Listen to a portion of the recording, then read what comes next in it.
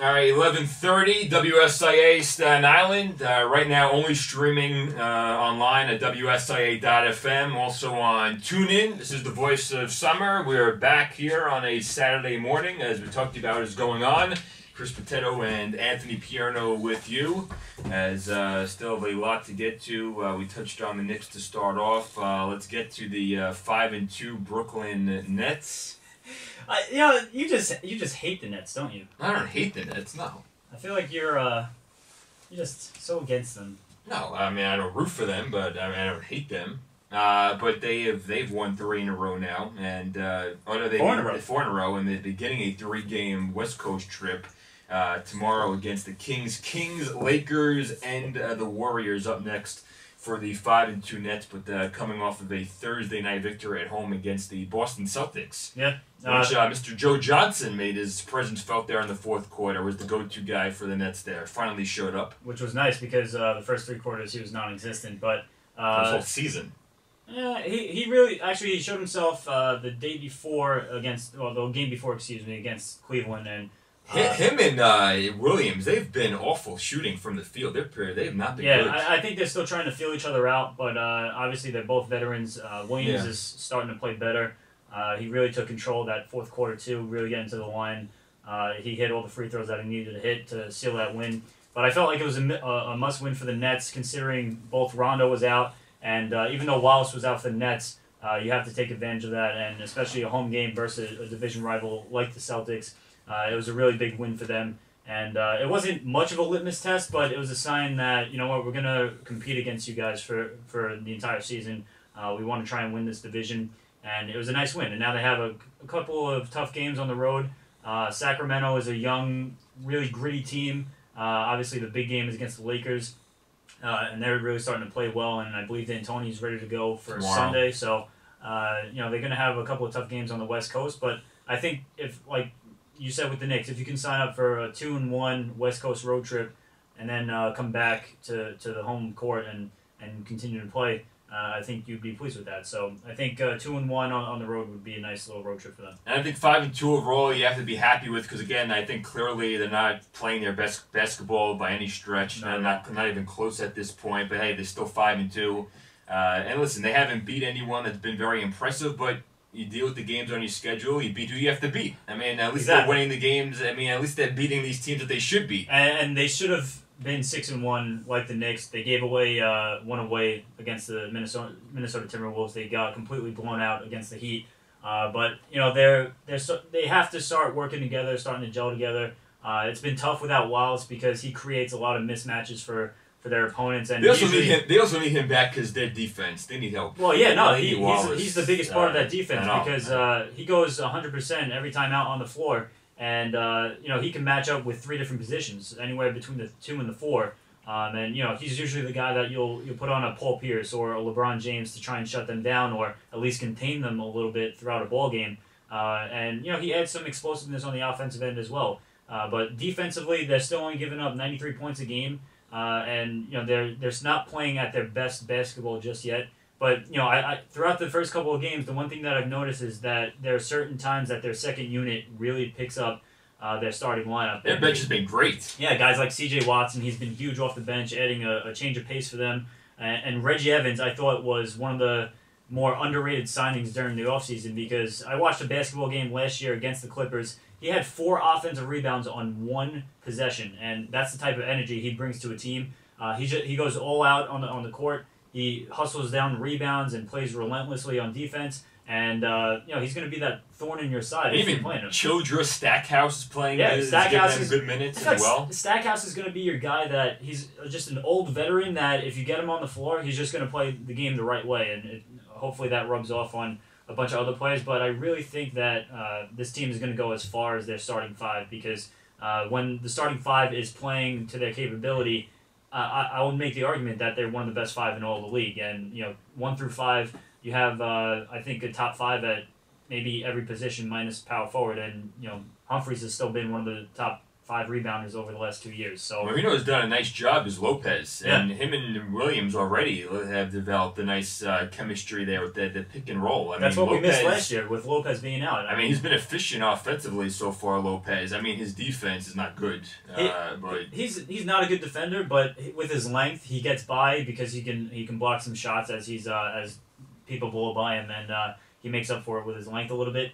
But you know his rebounds have been up a little bit, which you like to see. Uh, he's had a he's recorded a, few double doubles already this year, which you which you are pleased about. Uh, but he's scoring the ball and he's that inside presence that the Nets need. Uh, but like you said, I think it also is really important for the Nets to shoot the ball better, and that goes for Williams and Joe Johnson because obviously when they both get hot, uh, they can light it up be- behind the arc, and, and that's a big part of their game. But other than those guys, they don't shoot the ball particularly well from long range, and sometimes you need that three ball to you know, distance yourself from uh, your opponent, and they haven't been able to really do that. But and also a very interesting aspect of this team is that not many of them are used to winning. Over the last five years, the Nets have been a horrible team every single year, and uh, they find themselves sometimes up 20, uh, 15 points during a game, and those leads have been cut down or even surpassed. Uh, and obviously, against the Timberwolves, they blew a 22 point lead, but they have to get used to playing with lead because they've been doing that all season long.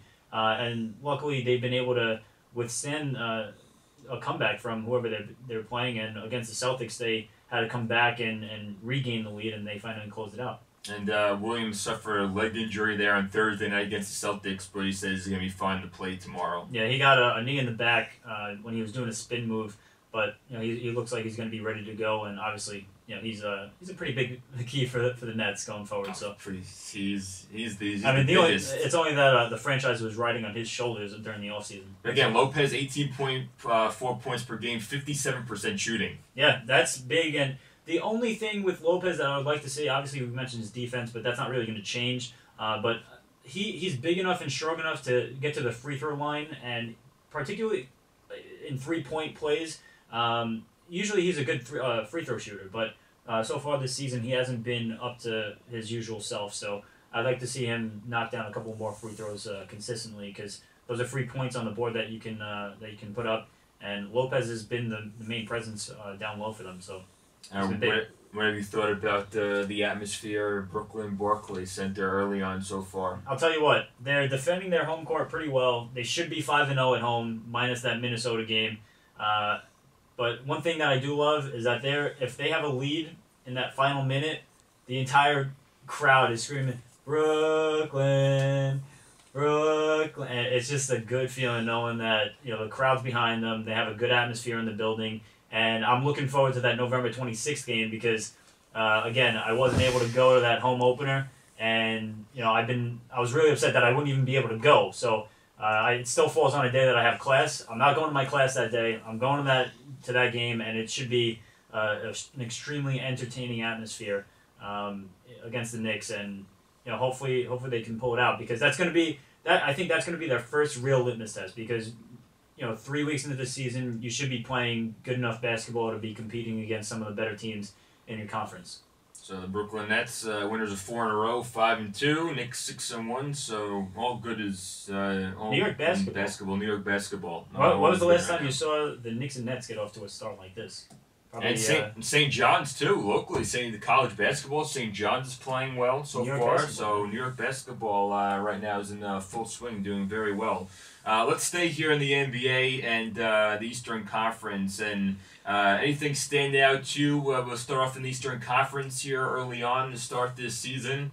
Uh, you know, the, a lot of people thought that the Pistons were gonna, uh, you know, not maybe say be a playoff team, but uh, a little bit. yeah, be you know one and nine so far. Uh, Wizards are still winless. Of course, you know they're zero and seven, but they don't have John Wall. and Nene's out still. They don't have him either. I believe they're one of the lowest scoring teams in basketball. I mean they can't score anything. I mean they're Yeah. terrible off. Detroit's worse, 84 games. So uh, Yeah, when you can't score the ball, you can't expect to win.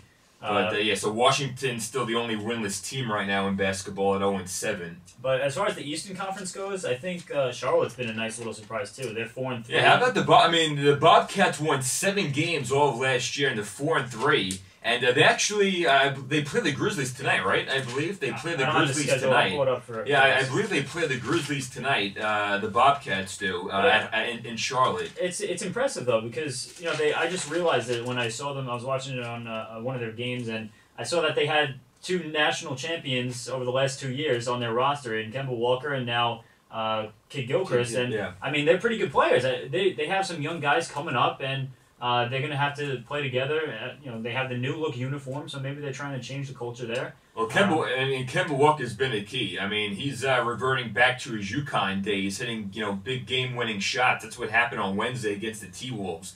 Had the uh, game-winning jumper to give them the victory. But yeah, four and three, so a nice start there. and they are home tonight against Memphis so Yeah, so uh, Grizzlies will uh, visit the Bobcats tonight. They're off to a nice start. Walker, they have uh, Kidd-Gilchrist, of course, as well. Uh, Milwaukee five and two to uh, start the season right now. Uh, they are atop the uh, Central, and uh, they will take on New Orleans tonight. The- New New Orleans uh, three and four to start uh, the season, uh, but Milwaukee doing a nice job. You have uh, Jennings and Ellis there, uh, of course, leading the way in the backcourt, and even the veteran Dalembert has been contributing, has been contributing on the offensive end.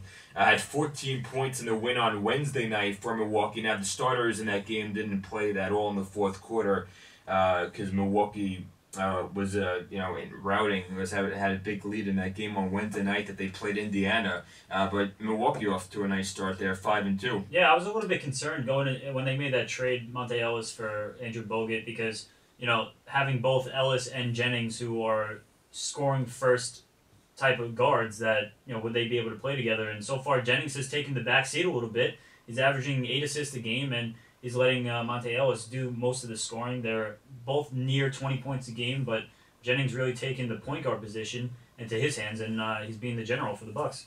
Yeah, so Milwaukee uh, under Rich Skiles off to a, good start. Again, taking on uh, New Orleans uh, this evening. Uh, what else was there in the Eastern Conference? I, I was thinking about. Um, I wanted to mention. Uh, you know, well, Chicago right now. I, the, the issue with Chicago is they just they've been inconsistent. Um, you know, right now what was it five and three, I believe, so far right now uh, on the season for the Bulls. Uh, they're still playing very good defensively, even that without. Uh, That's what's going to carry them all season yeah, without Rose, I mean, they're still being a good defensive team, and uh, and then o- and then offensively, you've had Noah. I believe he's averaging 16 points per game, so he stepped up uh, on the offensive end. He's actually contributing heavily for them. Noah's been big, and uh, in the absence of Derrick Rose, they signed uh, back Luke, uh, Kirk Hinrich, and instead of him performing the way he should be, he's been hurt a little bit. So step in uh, Nate Robinson, and he's been performing pretty well in the absence of, the former MVP Derrick Rose. So you know the the Bulls are really going to go as far as their defense takes them, but good contributions out of uh, Boozer and Noah taking on the scoring load, and of course Luol Deng is a very versatile small forward for them. So uh, they're going to go as far as their defense takes them, and uh, you know Tom Thibodeau is one of the best coaches in the NBA as well. So uh, I think they'll be fine. I don't know. I, I don't think Rose will be playing this year. If he does, it might be just in time for the playoffs. Uh, but as far as the Bulls go, I think they'll still have a chance to compete for that division, uh, even without Rose. And I mentioned the Bulls because uh, today they're, they're playing the Clippers, uh, so we can make our transition over to the Western Conference. Clippers uh, right now off to a six and two start, best start in six seasons Yeah. for LA. I'll tell you what, they're a scary team because not only do they have the explosiveness in the starting lineup with you know Chris Paul and Blake Griffin and Caron Butler, you got Jordan, but their their depth really scares me. I mean, Jamal Crawford coming off the bench, you have Chauncey Billups still coming uh, coming back from uh, from knee surgery that he'll be back later on in the season, but Eric Bledsoe is filled in very nicely. They have a bunch of players coming off the bench that are really key uh, to their success, and I think they have an opportunity to, to be that outside team looking in at a, at a possible one or two seed maybe in the West. I, I know that Oklahoma City is always a favorite and the Lakers really haven't gotten on their roll yet, but I think the Clippers are, are for real now and they're going to be here for a while. And uh, of course, the, the Lakers uh, defeating the Suns last night, 114 102. Uh, D'Antoni, his first game coaching will be tomorrow against the Houston Rockets at the Staples Center. Uh, but 114 points last night, and even without D'Antoni on the sideline, I mean, they were still running up and down. I mean, it And without like, Nash, too. Yeah, without Nash. but uh, what, do, what do you think of D'Antoni going to LA? I think uh, with all the talk going around Phil Jackson, everybody expected him to become the head coach, and then all of a sudden, It seemed like everybody signed. was surprised. Yeah, I, I- mean I- Jackson was surprised. He thought he was going to get the job. I think it's a good fit though for for uh, for the Lakers and D'Antoni. I think you know he's able to to work around some stars that he's worked with in the past. Obviously Nash in, in the Suns organization, and then uh, everybody else like Howard and Kobe with T- Team USA. Uh, so he's been familiar with these guys. A lot of the players respect him already. So I think it's a really good fit for the Lakers, and I, I expect them to start playing some really good basketball soon. And Nash is still out another week, so hopefully for their sake they'll get him back soon uh, into the mix again. But Nash has been out now, and he's going to be out. They said for at least another week. So, uh, but again, last night, I mean, it was so Bryant, thirty-one points there in the victory uh, last night against the Suns, just already looking like the Mike D'Antoni offense, just running up and down, and uh, again, 114 points that were able to put up on the board. And quickly with the uh, Lakers, it was a really nice sight. Uh, they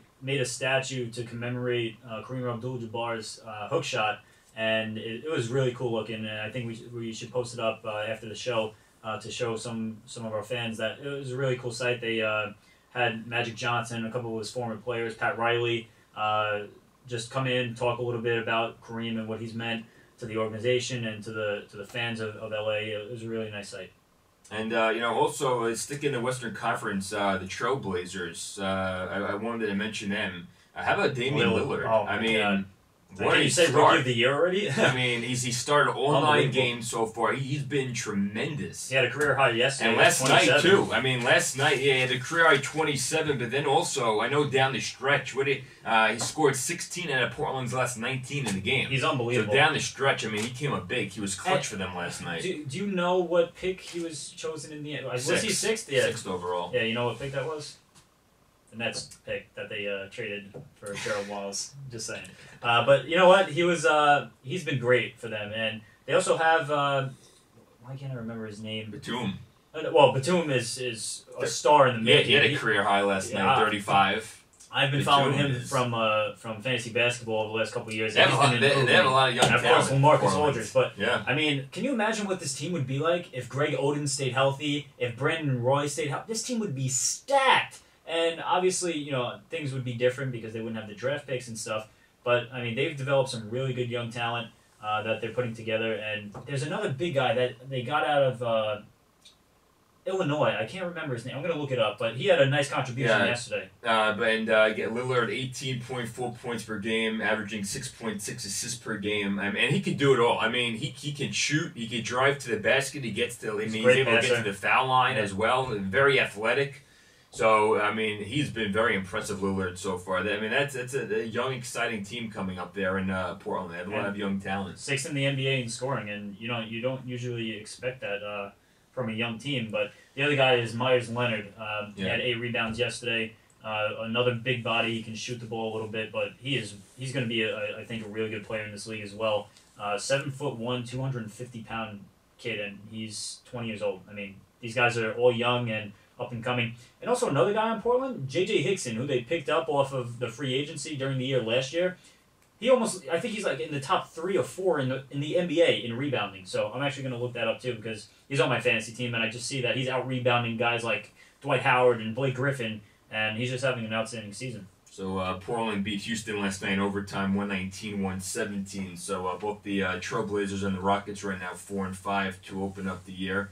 Uh, it is 11:47 here, WSIA Staten Island, 88.9 FM on this uh, Saturday uh, afternoon. As uh, we talked about what is going on in the world of sports here, we're going to take a break, and then when we He- come back, He's six, by the way. Just Six. All right. Uh, when we come back, uh, we'll move on. There's still a lot to get to uh, with uh, MLB to talk about. Of course, a big trade uh, went down, and uh, R.A. Dickey, NL Cy Young Award winner, and now is the time to trade R.A. Dickey. Shouldn't the Mets trade R.A. Dickey? Uh, we could get, we could uh, get, get the Yankees. Yeah, why not?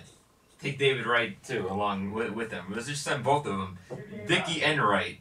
No, I definitely do not want A Rod at all. You could definitely hold on to him. I mean, without a doubt. Um, and also, of course, NFL to get to.